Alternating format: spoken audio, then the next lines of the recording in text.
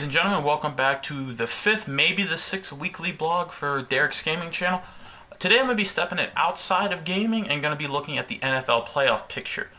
I believe yesterday, Saturday, the 15th, maybe 16th. I'm not. I'm not sure. I really am not good on dates. We had the Cardinals beat the Packers. In the second game, I'm not sure who won. I know today is uh, Carolina, Seattle. That's going to be a really good one.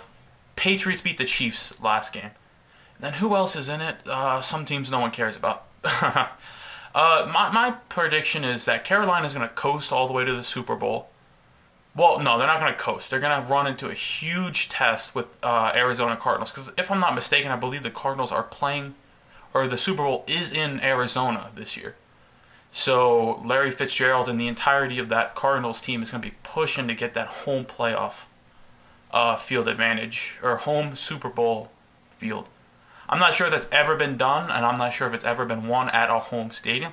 That would, to me, be really epic. In fact, what I would like to see is I would like to see uh, New England and Arizona, but in reality, I feel like it's going to be Carolina and New England. Now, obviously, me with the whole Deflategate thing, I personally think Tom Brady uh, did that just just because there were accusations of him and Belichick cheating before, and they came to fruition with the Spygate. And I believe there was something else, but I'm not. I don't follow too much outside of uh, the Washington area sports just because, you know, I couldn't care less. They're not my teams. But I do believe that uh, Brady cheated. So I, I've never been a fan of cheaters, so that's why I would love either Arizona or Carolina to win in the Super Bowl. I believe, uh, actually, Super Bowl 50 this year. And another 50 years when I'm like 70 something, it'll be Super Bowl 100. But it's it's crazy to think of the game and where like 25 years ago where the where the game was from. Used to I, I remember it used well I don't personally remember but I looking at film it was just you know guys in like a leather leather helmet basically. Now it's uh, basically gladiators going at it every weekend.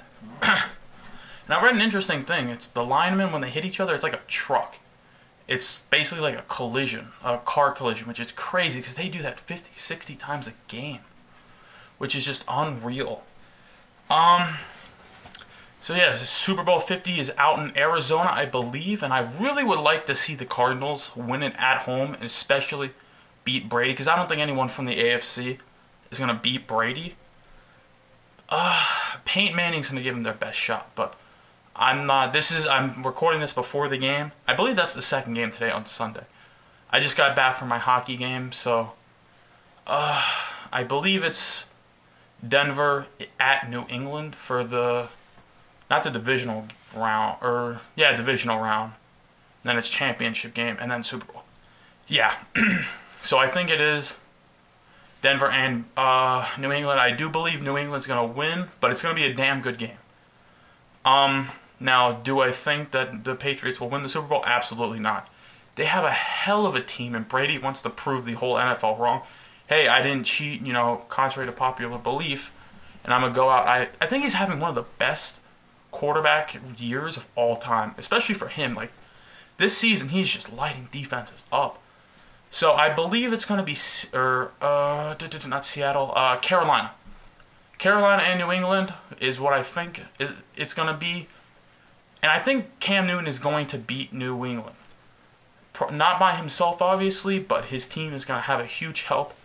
And I believe that, yep, Carolina over New England. Now, what I would love to see is Arizona over New England. Just because Larry Fitzgerald winning it at home would be awesome. Because I know he's a hell of a player. He just pulled some massive 75 yard overtime winning run. It's incredible.